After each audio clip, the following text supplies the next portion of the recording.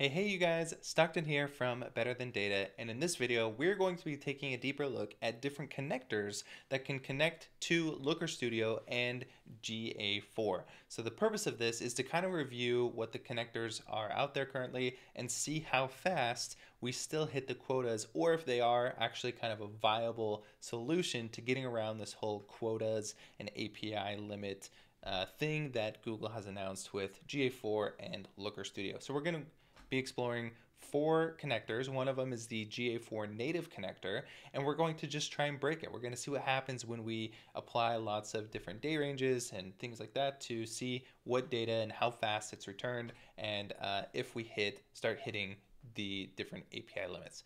So uh, that is what we are going to be doing in this video. Now, of course, if you head on over to betterthandata.com forward slash YouTube, then you can come and fill out this form here, which will give you instant access to a training library on how to set up conversion tracking for certain platforms. So right now we support WooCommerce, we support ThriveCart, we support Shopify, and for each one of those, we provide both the data layer and the pre-built container where all you have to do is input a few of your details and it will spit out for you a personalized pre-built container. So combine that with the data layer, you can have your conversion tracking set up within minutes. All right, let's jump into now how we can uh, test this. So first of all, I guess let's review what the problem is. So Google Analytics 4 has introduced these quota limits for um, tools accessing its data via the API, via the data API, the reporting uh, API. You can see right here, Google Analytics Data API for GA4. Maybe I can zoom in here a little bit. All right. So what it's saying is that there are now quotas, and there's quotas around core, uh, the core category, real-time category, and funnel. So each one of these has a bit different quotas. Mostly what you're going to see with a Looker Studio connector is going to be the core. So we're looking at the core quota category here.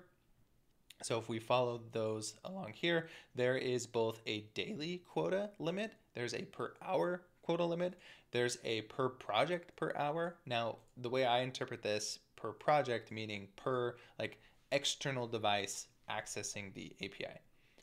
And then there's a concurrent request limit as well, which is 10. Now, as you're going to see in this report, we have uh, two minute reports, we have GA4 native, we have Supermetrics, and we have Power My Analytics as the four connectors that we are testing.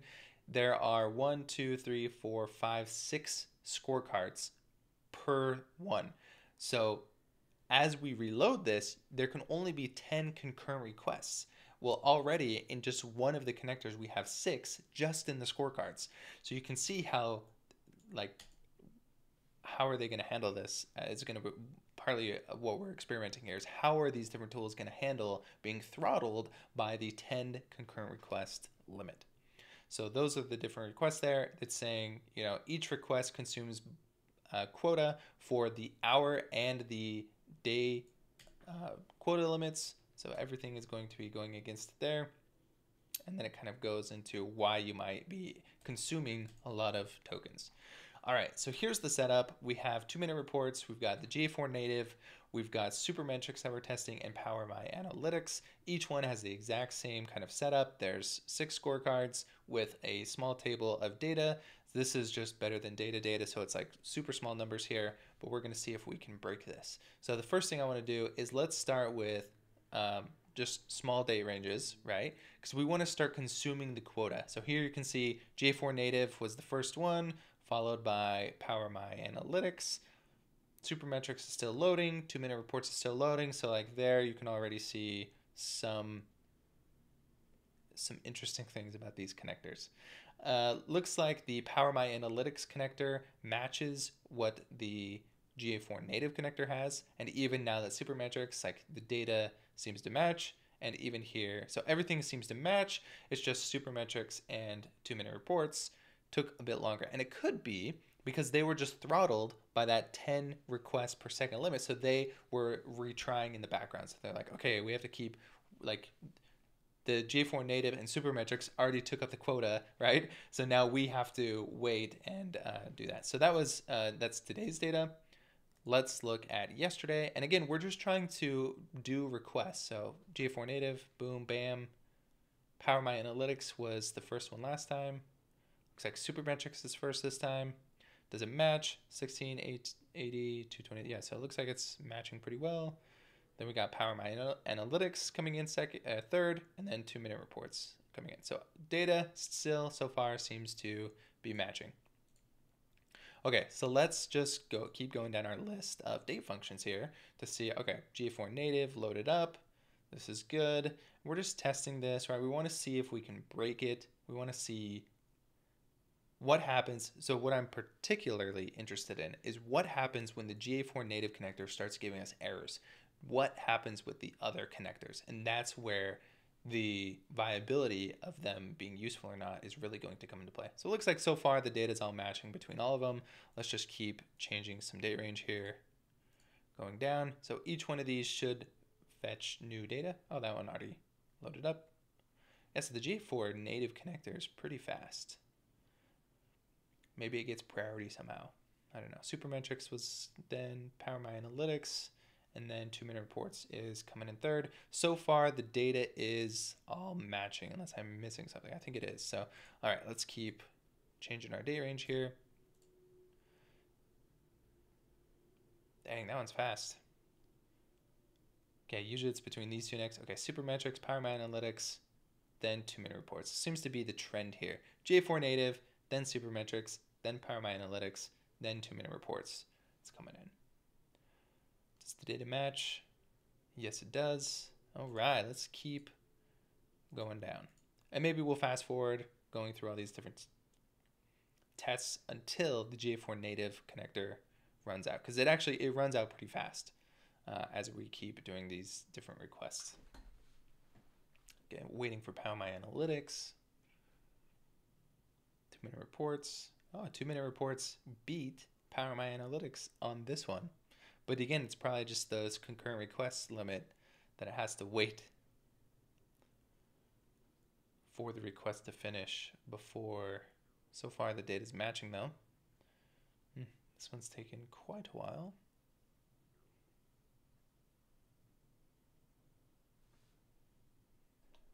Okay, Power My Analytics broke. Didn't work. Let's keep moving on. Okay, let's just let's jump to this month. As we start getting to bigger date ranges, we'll start to see more and more um, like things taking longer, I think, because it's got to load in more data, it's got to use more tokens, it's got to hit those quota limits. So we're kind of just exploring what happens as we extend the date range. So two minute reports came in, actually matches. Two minute reports beat Supermetrics and Power My Analytics with a bigger day range. Interesting. Super small data though. Okay, so waiting for Supermetrics and Power My Analytics to come in. All right, I do not know what's happening, but Supermetrics and Power My Analytics are struggling right now. Let's do a bigger day range. So let's go this quarter.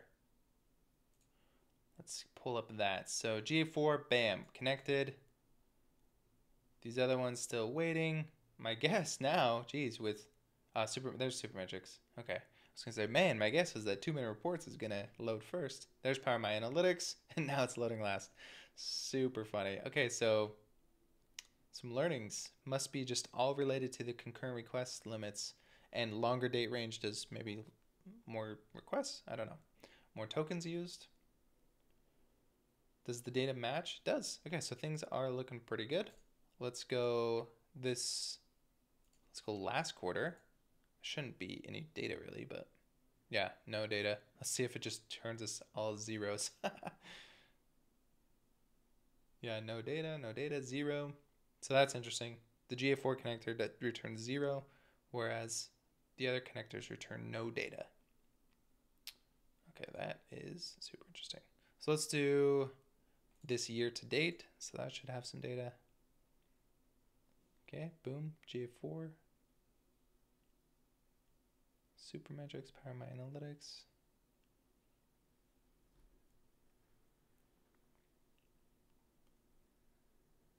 And two minute reports coming in last. Okay, now what we're gonna do as soon as this loads up is I'm gonna just fast forward to when I'm going to keep changing date ranges, things like that, to when the GA4 native connection actually times out, uh, reaches the quota limit, and then we'll see what happens with the other connectors. How are they going to handle that? So let's jump ahead. All right, so I made a bunch of changes, uh, like changing the date range a ton, and finally the GA4 native connector, it didn't take that long actually, uh, now shows a quota error. So let's reset, and then what I would expect, so because we reset, this data has already been cached, right? Because it's already loaded this date range. But what if we go back and choose a date range that it hasn't loaded the data for and see if the GA4 connector times out. So GA4 native connector gives us a uh, quota error. So let's see what happens with the other connectors. So Supermetrics actually returned some data. PowerMy Analytics returned data. These guys actually have the same data. So that's interesting. And then let's see what happens with the two minute reports. See if it returns data and if it's the same, if it matches the other connectors because the GA4 native is already timed out. It's tapped out, it's reached the quota, it's hit its limits. The other two seem to work. So let's stress test the other two now. So here we go, four, five, seven, six, seven, four, five, seven. Okay, so that matches. Let's keep going. So let's just change this to be 36. And what is going to happen? So four, five, seven, six, seven. That's what it was before. Just kind of spot checking those two numbers. Still getting quota limits on the GA4 native. All right, so it's been a few minutes already. PowerMy Analytics has nothing. Supermetrics did return some information as well as two minute reports. They have the same information. So those two seem to be rocking strong. Let's change it again and see what happens. So we still have our quota error limit from GA4 native, but two minute reports and Supermetrics seem to be returning the same information still. Uh, we can't verify exactly if it's you know right compared to the GA4 native, uh, you know, matches GA4 native, but we can tell that they are still returning information. Two minutes reports coming in first place after GA4 native connector has run out. Waiting for Supermetrics and PowerMy Analytics to return some information as well. Okay, it looks like for this date range, all three of the other connectors returned data, and they returned the same data so far. So 462 all the way across the board, 946 across the board. But one thing that has been super apparent is that all of these are way slower. Like so slow. I'm pausing it and waiting a few minutes for this data to come back from all of these different connectors. So that is one thing to keep in mind. So while the GA4 native connector seems to have, well, it's quoted out, right? It's lost the ability to get more data. The other reports, the other tools are getting data. So that one was pretty fast but it's taking quite a long time. So that is, you know, another consideration when you're building your dashboards is do you need the data to be a little fast? Because um, honestly, we can't like we can't wait for this much time. Right? Okay, so there, like every little thing can't take forever.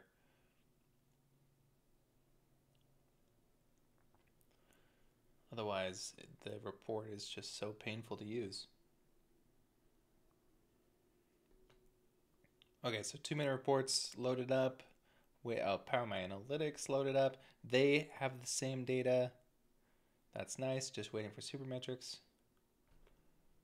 Okay, Supermetrics is just taking way too long. So the other ones seem to have pulled up data. They have the same data. Sometimes Supermetrics takes forever. Sometimes PowerMy, oh, there it goes. Sometimes PowerMy Analytics takes forever. Sometimes two minute reports takes forever. They all seem to have varying degrees of time that it takes for them to uh, return the data. But I think the bottom line here, if we were to extract some learnings, is that third party connectors do seem to be able to return some data, right? And this is obviously a super small data set. There's not a ton of scorecards, not a ton of blending. Like imagine getting to a point where you have much more complexity in your report um, and using a third party connector. So like I think the learning is like it may still work for you if you're willing to wait a long time. like these seem to be getting up, not getting around, but while GA4 native connectors is timing out, it's getting the quota error. These other connectors are still working. And I think partly because of the way they do their caching. So is it there's still a lot of questions I have whether this is just cached in my browser, like how much of this data is cached in my browser versus how much is cached at their data source level. What is going to happen when we add in much more concurrent requests from users? Right? So let's say we have a report and there's 10 users viewing it at the same time. All 10 people are changing date ranges, changing filters, things like that. So what would happen there? But um, in this super simple test, where we are just pitting these connectors against the GA4 connector, these third-party tools are still returning data while the GA4 is not. So maybe that is the end of the story there. Personally, I don't think it's still usable in terms of client reporting because of the speed um, and just what's going to happen when you scale usage up more. So more people, more concurrent requests, more complex reports. Um, so yeah, that is, I guess, the findings. Here we go. Uh, let me know if what your thoughts are. Let me know if you guys have a planned solution. What are you going to do about this GA4 thing? I look forward to hearing from you.